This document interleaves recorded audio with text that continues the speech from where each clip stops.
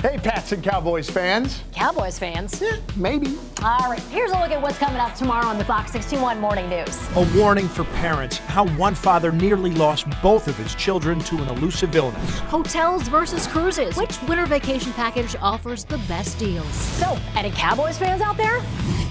Not around here. And we'll have all of Monday's breaking news from all across Connecticut all morning long. Black Friday is just around the corner. We have a sneak peek at some of the top Black Friday toy bargains. And we're counting down to the Manchester Road Race, what it takes to put on this incredible Thanksgiving tradition. Dan and Matt.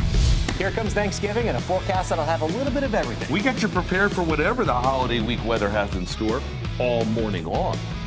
It's the biggest travel week of the year, and I'll get you where you're going all morning long. Erica.